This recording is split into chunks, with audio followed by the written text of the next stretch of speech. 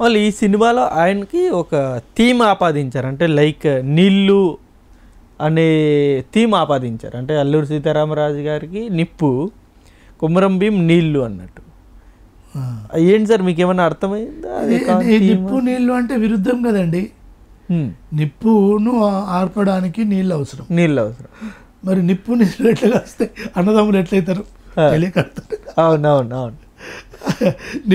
నీళ్ళు అవి సముద్రము ఇది ఒక నది అంటే బాగుండే అవి నీళ్ళే ఇవి నీళ్ళే అనుకుంటుంటిమి. ఆ, కాకపోతే ఇది ఒక పెద్ద చెరువు పెద్ద కుంట లేకపోతే ఒక పెద్ద ఇంకేదో అనుకుంటే బాగుండేది నీళ్ళు నీళ్ళే కదా. మరి నిప్పు నీళ్ళని మీరు అంటున్నారు దీంట్లో విరుద్ధాంశం ఉంది కదా. హ్మ్. మరి ఇద్దరు ఇట్లా పోరాటం చేసిన వాళ్ళు అవుతారు. వాడు సేర్ అంటే ఇటు సవా సేర్ అన్న లెక్కనే ఉంటారు కదా. అంతే కదా. మరి ఆ నిప్పు అయితే నీళ్ళు అయితే. అదే ఇది మొన్న ఏదో మాట్లాడుతూ చెప్పాను ఎవరితోటో. మూడు కాదు నాలుగు పెట్టమని చెప్పాను. ఆర్ఆర్లు నాలుగు పెడితే బాగుంటుంది. అని చెప్పేసి ఇప్పుడు మీతో ఉండేది అదే అంటున్నా. ఏమన్నారు?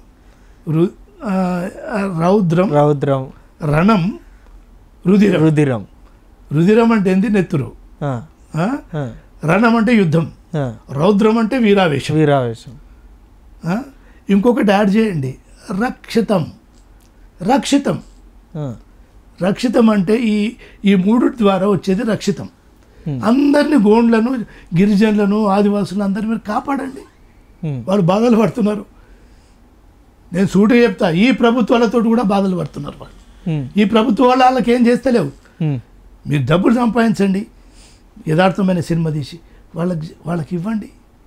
మా సాధ్యమైనంత పని మేము చేసినాం రాసినాము ఆడినాము పాడినాము దెబ్బలు తిన్నాము దెబ్బలు తిన్నాము జైల్లోకి పోయినాము. ఇవన్నీ చేసినాం మేము.